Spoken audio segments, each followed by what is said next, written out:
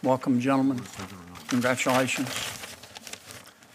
Um, You can just raise your hand on this one, if you will, to save a little time. Have any of you not tried a case to verdict in a courtroom? Mr. Pitts? Um, Have you ever tried a jury trial, I have not. civil, No.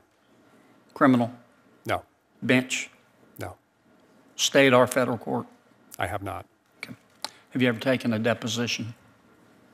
I was involved in taking depositions when I was associate uh, at Wiley Rein when I uh, first came out of law school. Um, but that that was uh, Have you ever, how, how many, how many depositions?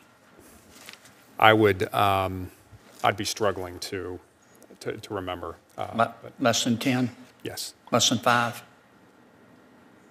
probably somewhere in that range. Have you ever tried to, taken a, a deposition by yourself? Uh, I'd believe no. Okay. Uh, have you ever argued a motion in state court? I have not. Have you ever argued a motion in federal court? No. Uh, when's the last time you read the federal rules of civil procedure? Uh, the federal rules of civil procedure. Um, I have, in my current position, I obviously don't need to stay as, um, um, you know, uh, invested in those on a day-to-day basis, but I do try to keep up to speed. We do have uh, at the at the Federal Election Commission roughly 70 attorneys who work under our our guidance, uh, including a large litigation division. And um, as a commissioner, we oversee that litigation. We advise them on overall all legal strategy, uh, provide um, recommendations and edits to briefs and so forth, and meet with them about uh, how we're going to handle. If I- If I could ask you this, I'm sorry to interrupt you, but we're only given five minutes for five of you, so. Sure. When, when's the last time you read the federal rules of evidence? The federal rules of evidence all the way through would, um, well, comprehensively would have been in, in law school. Uh, obviously, I have been involved in when I was a, uh, an associate.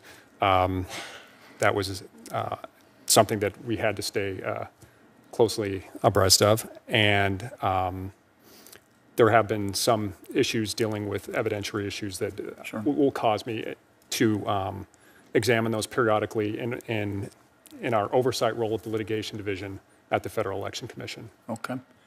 Um, well, as a trial judge, you're obviously going to have witnesses. Yes. Can you tell me what the uh, Daubert standard is? Senator Kennedy, I, I don't have that uh, readily at, uh, at my disposal, uh, but I would be happy to take a, a closer look at that. Okay. That, that, that is not something that I've had to uh, contend with. Do you know what a motion in limine is?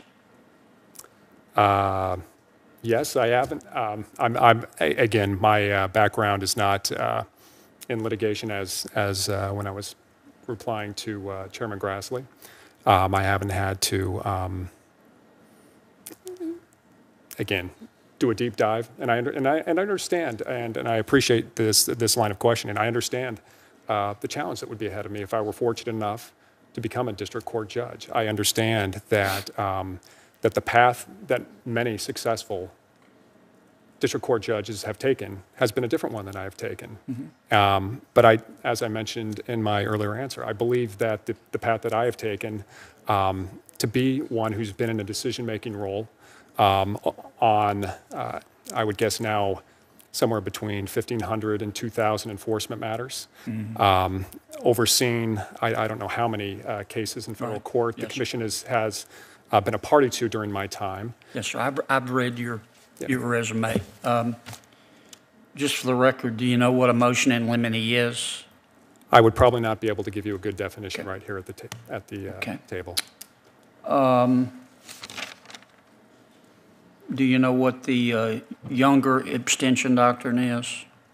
Um, Any experience I've, with I've that? heard of it, but I, again, How that, about the Pullman abstention doctrine? I, I You're heard, going to see, you'll all see that a lot in, in federal court.